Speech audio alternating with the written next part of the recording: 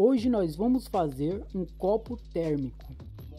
Para isso vamos precisar dessas duas latinhas e um pacote de gesso.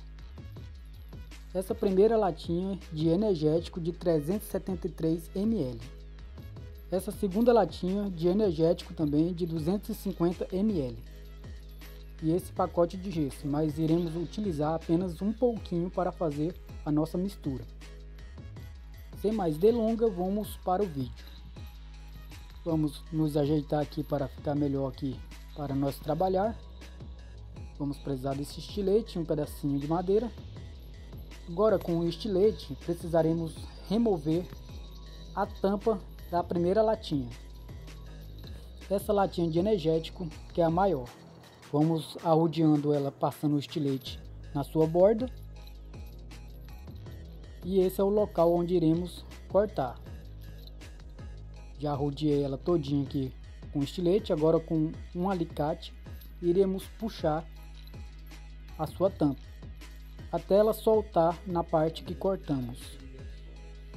Já está aqui quase apartando. Agora é só puxar aqui com a mão que irá arrebentar certinho. Depois que fizemos isso, agora nós iremos precisar e testando com a outra latinha para ver se ela vai caber na parte de dentro. Se ela não entrar, precisaremos recortar um pedacinho nessa lateral, a beirinha da boca da latinha, dessa forma. Vamos recortando com muito cuidado, o excesso que iremos tirar tem que ser bem pouquinho, para não recortar demais. E vamos testando de novo. Não deu, vamos tirar mais um pedacinho que agora irá dar certo. Depois é só encaixar ela na parte de dentro, dessa forma. Ela tem que entrar bem justinha. Nós iremos precisar aqui de uma bacia para não deixar sujar a nossa mesa. Vamos precisar também de um pouco de água. Agora vamos colocar nossa latinha aqui na parte de dentro, onde irá ficar bem protegida aqui a nossa mesa para não sujar. E vamos colocar água de pouco para poder nós saber a medida, porque essa será a medida do gesso. Vamos controlar na água para nós saber qual será o tanto certo. Vamos adicionar mais um pouquinho aqui de água. Na hora que estiver vazando ali na lateral, aí está bom. Pronto, começou a vazar. Essa será a quantia exata de encher a nossa latinha. A medida que iremos usar é para afundar a outra latinha quase toda praticamente. Vai ficar só uma pontinha para fora.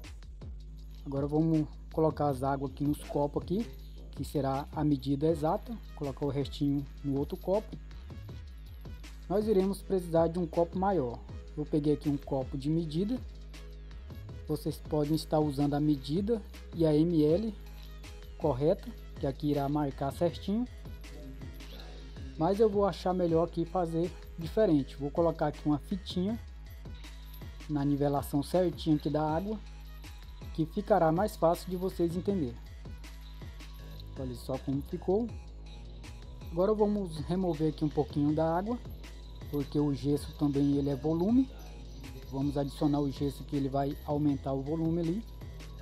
Vamos recortar aqui a pontinha do saco do gesso e vamos adicionando aqui pouco a pouco.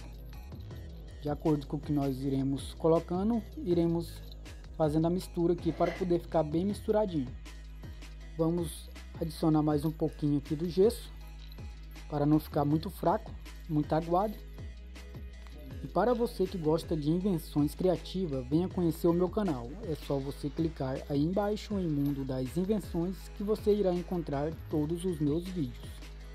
A mistura já está feita, agora é só colocar dentro da latinha dessa forma. Vamos misturar bem para pegar todo o gesso. Pronto, coloquei todo o conteúdo. Agora vamos empurrar a segunda latinha até chegar na sua borda.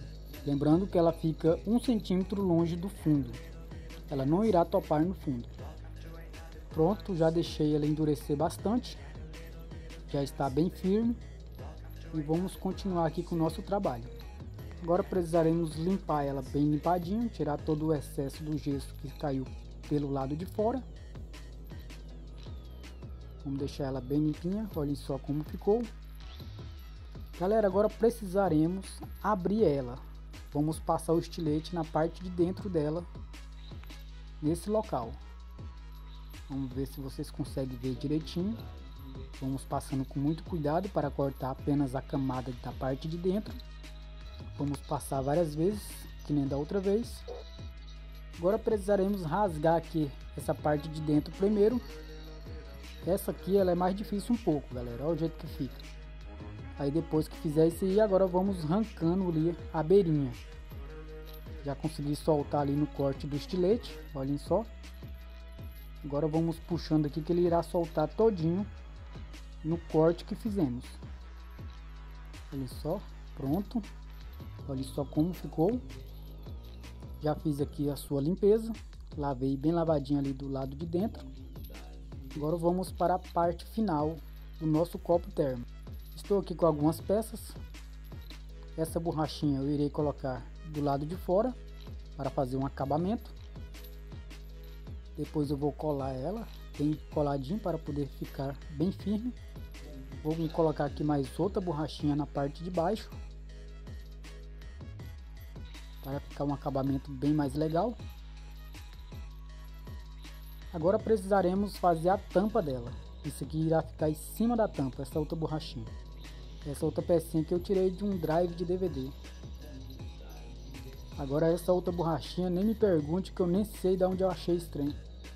Vamos arrancar essa parte de cima da latinha. Eu já tinha arrancado um, será essa peça. É de uma latinha de 350 ml. Ela encaixa perfeitamente nessa latinha fininha, na parte de cima. Ela encaixa um aro dentro do outro e fica bem encaixadinho. Perfeito para fazer a nossa tampa. Vamos fazer uma demonstração para vocês entenderem como ela encaixa. Depois que apertou ela bem, ela encaixa perfeitamente e fica bem firme, galera. Agora vamos continuar aqui com o nosso vídeo. Agora precisaremos colocar essa outra borrachinha para fazer o acabamento. Vocês poderão colocar qualquer coisa que encaixar aí dentro. Isso é só para fazer um detalhe e deixar bem mais bonito. E irá também combinar com o nosso copo térmico. Olhem só como ficou o acabamento, ficou muito bom. E agora é só vocês tomar a sua bebida do jeito que vocês preferirem. Quente ou fria, ela irá conservar do mesmo jeito. E é isso aí galera, se você estiver gostado desse vídeo, se inscreva no canal, deixa seu like e seus comentários. Não se esqueça de ativar o sino das notificações para receber notificações de novos vídeos. E não se esqueça de dar uma passadinha em meu canal. Lá vocês irão encontrar vários vídeos bem legais e bem criativos. E fique ligado galera, porque logo logo estarei postando novos vídeos para vocês. E é isso aí galera, e até o próximo vídeo.